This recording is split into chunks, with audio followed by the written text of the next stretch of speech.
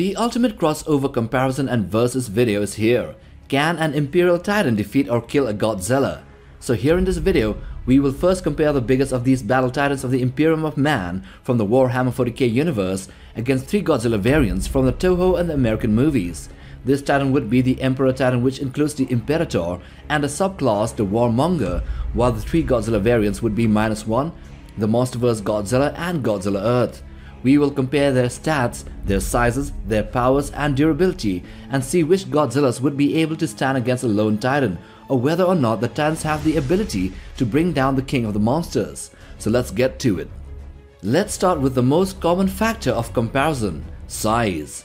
The Emperor Titans are said to be the biggest of the god engines of humanity in the Warhammer 40k universe, only outsized by the mysterious Castigator class, which was only one of its kind and has now been destroyed by the Grey Knights. Anyway, the Imperators and the Warmongers, which are both Emperor-class titans, were originally stated to be so large that they could be seen from orbit, but after retcons, more modern estimates put them at around 55 or 60 meters in height, around 182 to 200 feet tall. On the other hand, these three Godzillas are chosen here, and each of them are of a different size category, the smallest is Godzilla Minus One, which measures just a bit taller than 50 meters or 164 feet, while the Monsterverse Titan Titanus Gojira comes in at 120 meters or 393 feet. And the biggest here is Godzilla Earth, which has a standing height of more than 300 meters or easily around 1000 feet, you know, in freedom units. That means that Godzilla Minus One is the only version here that is of the same size scale as a Titan from the Warhammer 40k universe. The Monsterverse Godzilla is twice the height, while Godzilla Earth is 6 to 7 times taller, with hundreds of times more in overall volume. What about speed and agility though? Well, Godzilla from Minus One is one of the slowest Godzilla variants, only seen to be able to walk at a speed that is equivalent to a fast human sprinter, so around 20 miles an hour, or 32 kilometers per hour. Godzilla Earth is also a slowpoke, but his size makes up for it, as with every step he takes, it's 100 meters of stride length, Therefore, this gigantic kaiju would be faster than minus one. Anyway, Godzilla from the Monsterverse is a different breed. He has been seen to run and sprint towards his enemies and because of this size, his running speed is actually impressive, even if it looks kinda normal. He can have bursts of speed up to 300 to 350 miles an hour, or 480 to 560 kilometers per hour. The Titans, however, walk at a very slow pace due to their size and the huge cathedrals on their heads, but since their strides are somewhere between 4 to 5 seconds apart, and each stride would cover around 20 to 25 meters, that gives them a walking speed, a pace, of around 20 kilometers per hour, which is a huge disadvantage compared to the Godzillas here, as the Titans are highly outclassed in speed. But what the Titans lack in speed and funny enough, in size as well, they make up for it with their highly advanced and super destructive weapons the largest and the most powerful being the arm-mounted Plasma Annihilator Cannon, and also the Hellstorm Cannon, both which are powered by the huge plasma reactors installed on the Titan's body. The Hellstorm Cannon, despite being labeled as a directed energy weapon, actually launches colossal shells comparable in size to battle tanks. This powerful cannon has the capability to rapidly transform the terrain, creating new canyons and burying adversaries under massive amounts of soil and rock by collapsing entire hills. The Plasma Annihilator's discharge is a form of plasma that when unleashed by this weapon explodes upon impact with all the power of a miniature sun, forming craters of hundreds of meters in diameter and turning sand into glass. The Titan also possesses vortex missiles, which when fired creates a hole in the fabric of reality, dragging matter into the immaterium. It is a sort of a wormhole weapon or a black hole weapon that strips everything clean of the surroundings. Those are the three deadliest weapons of the Imperator. The Warmonger on the other hand also has the Vortex missile and with it, it also has the Vengeance cannon and the Doomstrike missile launchers as its main weapon systems installed on the hands. The first being an enormous long-range laser cannon while the other is an enormous missile launcher that fires at extremely long distances and completely decimates the landscape, effectively being a weapon of mass destruction. Both these Titans classes also have 6 hardpoints for other plasma destructor cannons, also for infernoguns, melta cannons, a quake cannon, and gatling blasters which have lower fire output but can fire more rounds to deal with lesser threats. All in all, this means that the Titans have a level of destructive capability that far outclasses any kaiju or Titan from the Monsterverse, like I said, what it lacks in speed and size, it makes up for it with massive sets of weapons that can lay low entire armies with a few shots. The Godzillas in this topic on the other hand have the Atomic Breath, which is their main range attack. The minus one Godzilla's Atomic Breath has a very long loading time, and the power output of a nuclear bomb when it impacts a target. The Monsterverse Atomic Heat Ray doesn't have the nuclear explosion, but it has high penetration power and a very high temperature that is higher than the surface of the sun, and was stated to be 3.15 to 10 to the power 14 joules, which translates into 75 kilotons per second. With it, this Godzilla was able to bore a hole to the center of the earth, and when in desperation he can unleash a nuclear pulse that is equivalent to a thermonuclear explosion. And yeah, Godzilla Earth on the other hand has a very different atomic breath. He fires a highly accelerated particle beam which allows it to pierce through anything and also have the explosive after effect. With it, he was able to destroy cities, entire cities, with a single blast, and also even deal with wormholes and vortex points that open up in the sky letting Void Ghidorah into the world from another dimension.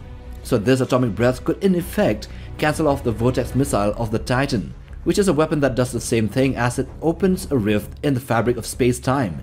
Godzilla Earth also can generate a powerful plasma shockwave that travels at supersonic speeds and cuts everything in its path, and has the capacity to absorb radio waves, making him impossible to detect using radar and other targeting systems, except when he's firing his atomic breath. So all of that is impressive and for a titan to be able to defeat a Godzilla, it has to also withstand and endure attacks from the king of the monsters. That means we have to take a look at how much power their void shields can take and as well as their durability of their adamantium plated armor. So these titans, their main defense are their void shields which are energy shields derived from 12 generators which are called void shield generators. Then beneath all that, they have the most durable alloy known to man as their armor plating. The Void Shields can withstand salvos from entire artillery barrages, as well as from explosions that can be considered tactical nukes in the kiloton range. But beyond that, the Void Shields would be powered down. But there is also another chink in the armor so to say. The Void Shields extends 30 meters away from the Titan's body, and it doesn't stop projectiles or slow moving targets from entering inside which is why the Titans are also accompanied by hundreds of Skitarii soldiers that prevent boarding actions by infiltrating enemy soldiers.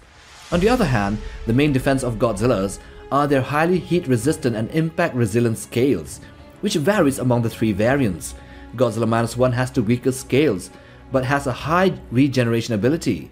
Monsterverse Godzilla has skin that can take hits from city-destroying beams like the Proton Scream, and also from the gravity beams of Ghidorah, but it'll hurt as hell, and he can also absorb nuclear radiation, so nukes are not really helpful there.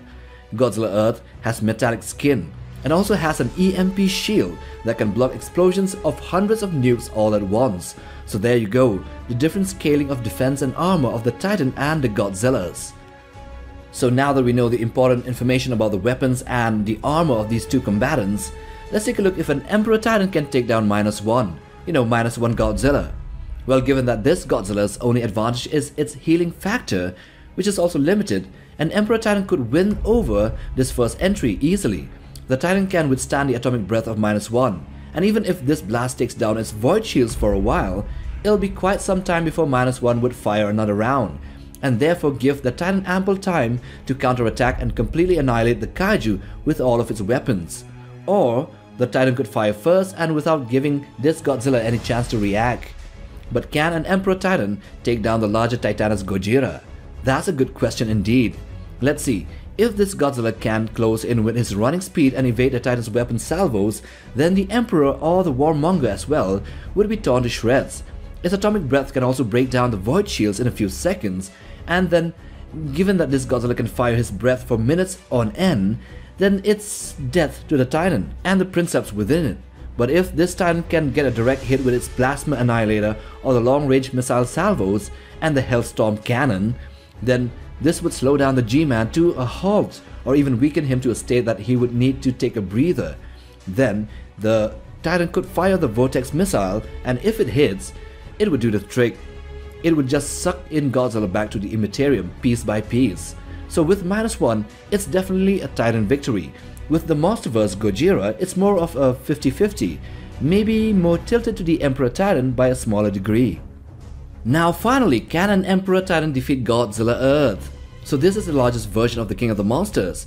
It is also the hardest to detect in the targeting systems, since he absorbs radio and other waves directed at him, therefore making him stealthy, and if the Titan fires, it's a 50-50 chance that it'll hit him. He is stealthy like an Aeldari Phantom, let's say.